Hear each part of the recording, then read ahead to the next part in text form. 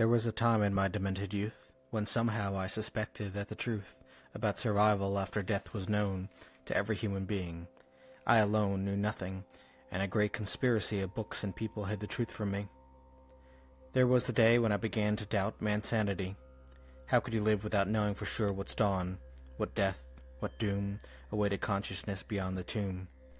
And finally there was the sleepless night, when I decided to explore and fight the foul, the inadmissible abyss, devoting all my twisted life to this one task.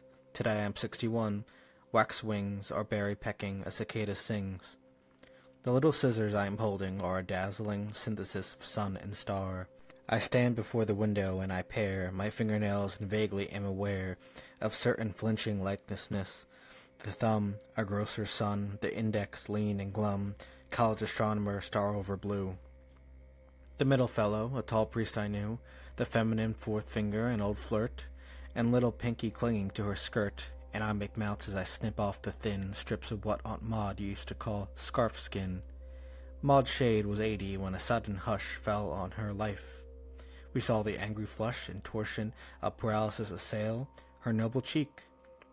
He moved her to Pinedale, famed for its sanitarium, there she'd sit in the glassed sun and watch the fly that lit upon her dress and then upon her wrist. Her mind kept fading in the growing mist. She still could speak. She paused and groped, and found what seemed at first a serviceable sound. But from adjacent cells impostors took the place of woods she needed, and her look spelt imploration as she sought in vain to reason with the monsters in her brain. What moment in the gradual decay does resurrection choose? What year? What day? Who has the stopwatch? Who rewinds the tape? Are some less lucky, or do all escape? A syllogism. Other men die, but I am not another, therefore I'll not die. Space is a swarming in the eyes and time, a stinging in the ears. In this hive I'm in, locked up. Yet if prior to life we had been able to imagine life, what mad, impossible, unutterably weird, wonderful nonsense it might have appeared. So why join in the vulgar laughter? Why scorn a hereafter none can verify? The Turk's delight, the future liars, the talks, with Socrates and Proust in cypress walks, the seraph with his six flamingo wings, and Flemish hells, and porcupines and things. It isn't that we dream too wild a dream. The trouble is that we do not make it seem sufficiently unlikely, for the most we can think up is a domestic ghost. How ludicrous these efforts to translate into one's private tongue a public fate.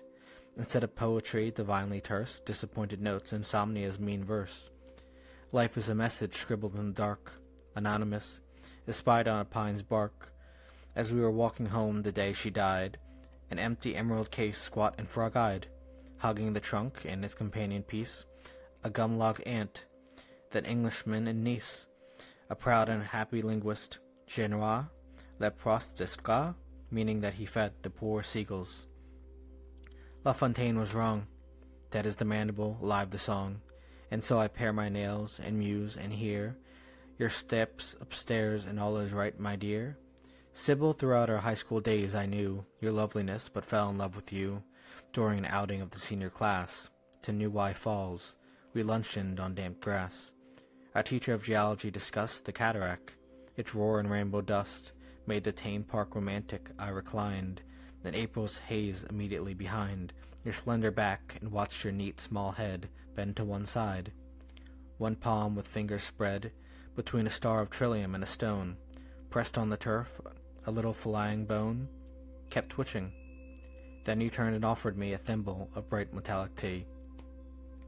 Your profile has not changed, the glistening teeth, biting the careful lip, the shade beneath, the eye from the long lashes, the peach down, rimming the cheekbone, the dark silky brown of hair brushed up from the temple and from nape, the very naked neck, the Persian shape of nose and eyebrow, you kept it all, and on still nights we hear the waterfall.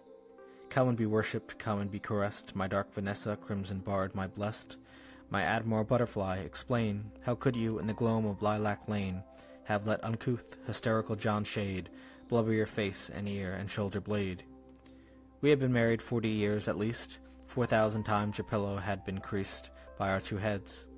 Four hundred thousand times the tall clock with the hoarse Westminster chimes has marked our common hour.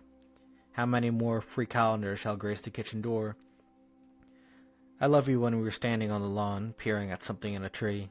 It's gone. It was small. It might come back. All this voice in a whisper softer than a kiss.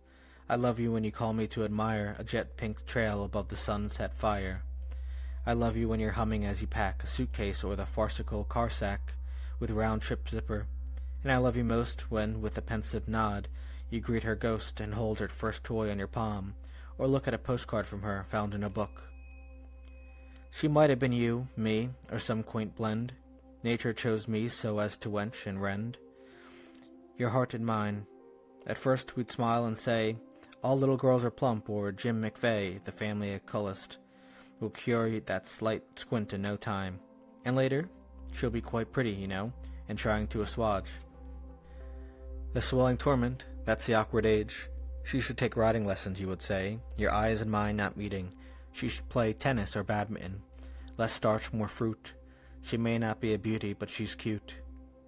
It was no use, no use. The prizes won. In French and history, no doubt, were fun. At Christmas parties, games were rough, no doubt, and one shy little guest might be left out. But let's be fair. While children of her age were cast as elves and fairies on the stage, that she'd help paint for the school pantomime, my gentle girl appeared as Mother Time, a bent chairwoman with slop pail and broom, and like a fool I sobbed in the men's room. Another winter was scraped, scooped away. The toothwort white haunted our woods in May. Summer was power mode and autumn burned. Alas, the dingy cygnet never turned into a wood duck, and again your voice. But this is prejudice, you should rejoice that she is innocent. Why overstress the physical? She wants to look a mess. Bertrams have written some resplendent books. Love-making is not everything. Good looks are not that indispensable. And still old Pan would call from every painted hill, and still the demons of her pity spoke. No lips would shed the lipstick of her smoke. The telephone that rang before a ball every two minutes in Sorosa Hall, for her would never ring, and with a great screeching of tires on gravel to the gate, out of the lacquered light, a white scarfed beau would never come for her, she'd never go. A dream of gauze and jasmine to that dance we sent her through a chateau in France and she returned in tears, with new defeats, new miseries. On days when all the streets of College Town led to the game, she'd sit on the library steps and read or knit. Mostly alone she'd be, or with that nice, frail roommate, now a nun, and once or twice with a Korean boy who took my course. She had strange fears, strange fantasies, strange force of character, as though she spent three nights investigating certain sounds and lights in an old barn. She twisted words, pot, top, spider, ridips, and power was red wop. She called you a didactic katydid, and hardly ever smiled, and when she did, it was a sign of pain. She criticized ferociously our projects, and with eyes expressionless sit on her tumbled bed, spreading her swollen feet, scratching her head, with psoriatic fingernails and moan, murmuring dreadful words in monotone. She was my darling, difficult, morose, but still my darling, you remember those almost unruffled evenings when we played mahjong, or she tried on your furs, which made her almost fetching, and the mirror smiled. The lights were merciful, the shadows mild. Sometimes I'd help her with a Latin text, or she'd be reading in her bedroom next to my fluorescent lair, and you would be in your own study, twice removed from me. And I would hear both voices now and then. Mother, what's Grimpen? What is that? Grim pen. Pause in your guarded scholium. Then again, mother, what's Tritonic? That too you'd explain appending. Would you like a tangerine? No, yes, what does sempiternal mean? You'd hesitate and lustily I'd roar, the answer from my desk through the closed door.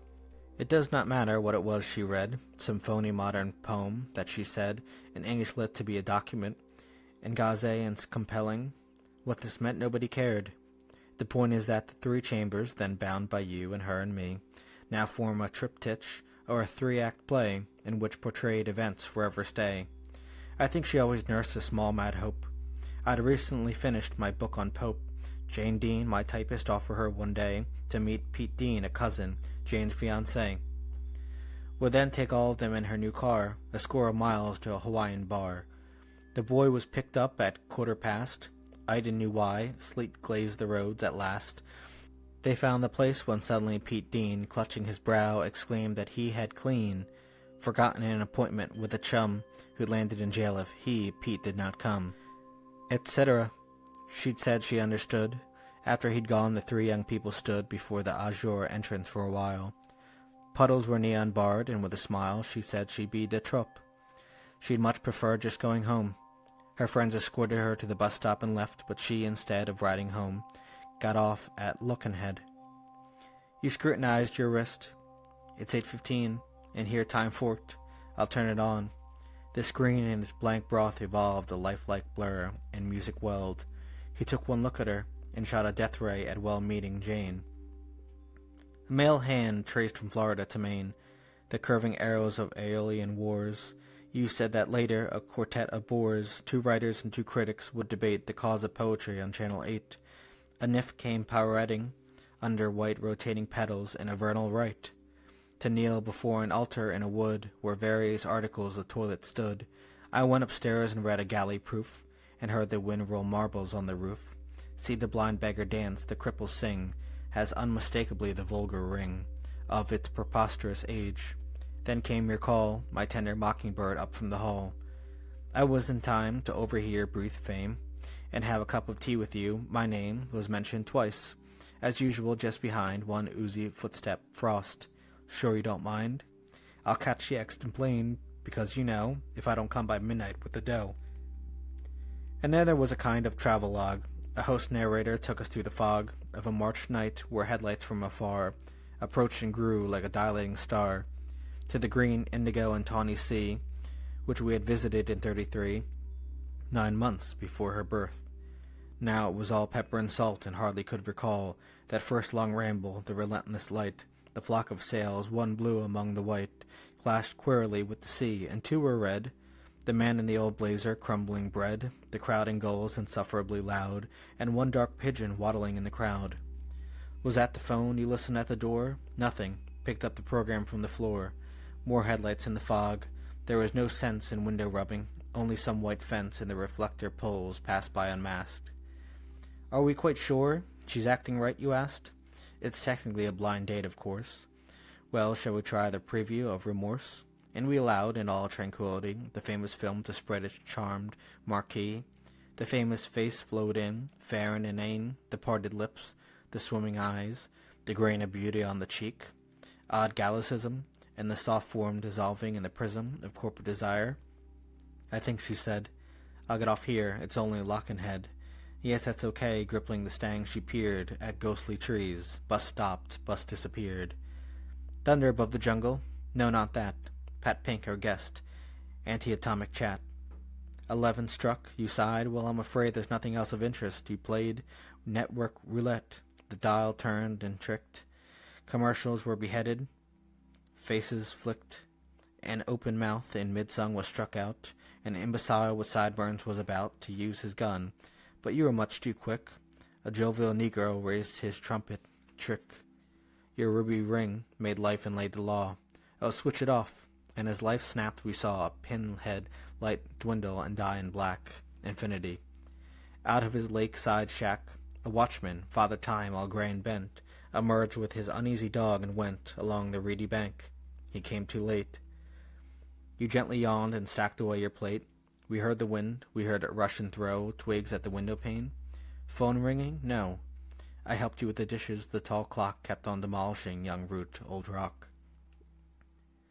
Midnight, you said. What's midnight to the young? And suddenly a festive blaze was flung. Across five cedar trunks, snow patches showed, and a patrol car on our bumpy road came to a crunching stop. Retake, retake. People have thought she tried to cross the lake at Lochan Neck, where zesty skaters crossed from Exe to Wye on days with special frost. Others suppose she might have lost her way by turning left from Bridge Road, and some say she took her poor young life. I know. You know.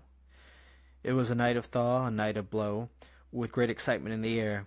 Black Spring stood just around the corner, shivering, in the wet starlight and on the wet ground. The lake lay in the mist, its ice half drowned.